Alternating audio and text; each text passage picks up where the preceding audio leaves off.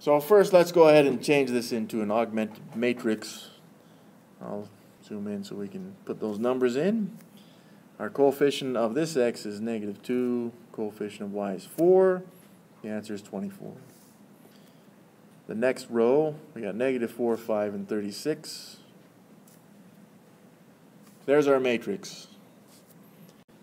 All right, once again, if I look at this, and again as well, the idea is to get a 1, 0, and a 0, 1 with our answers here, okay?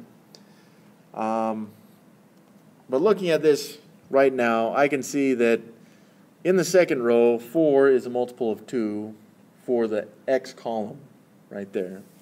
So if I just multiply my first row by a negative 2, then it will be the same as 4 but opposite to that negative 4.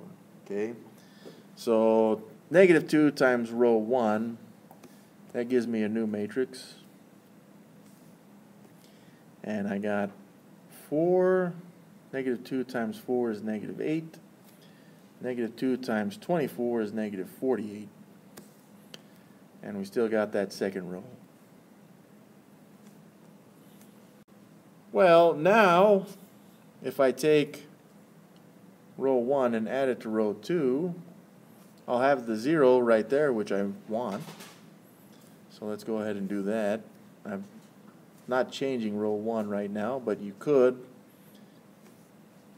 And so we get 0, negative 3, and negative 12. Well, I also want the 1 where this negative 3 is. I want a 1 right there, okay?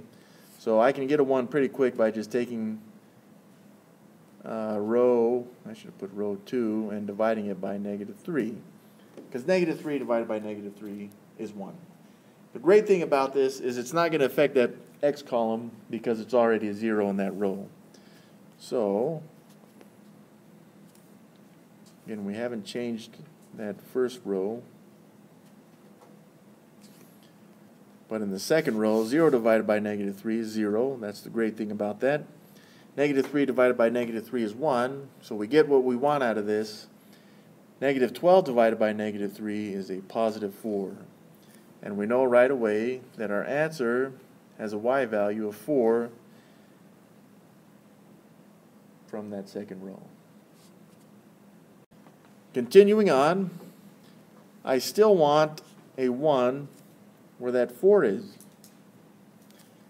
Right here.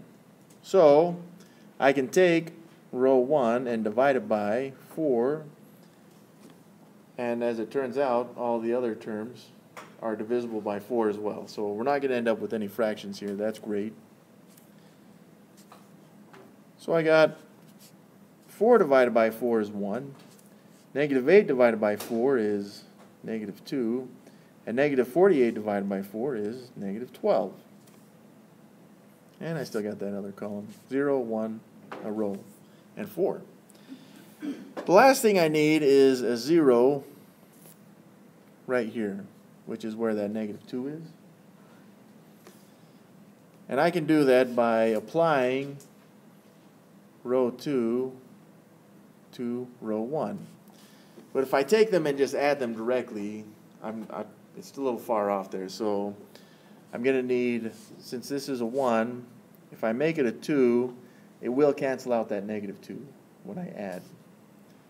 So let's go and make 2 times row 2 plus row 1. Well, 0 times 2 is still 0 plus the 1. See how that doesn't really change anything on that first equation? So then I get, I still have 0, 1, 4 by the way. And I still have the 1 there. 2 times 1 is 2, plus that negative 2. That's 0. That's what we wanted. 2 times 4 is 8, plus the negative 12 is negative 4. So my x value is negative 4. And that would be my answer right there.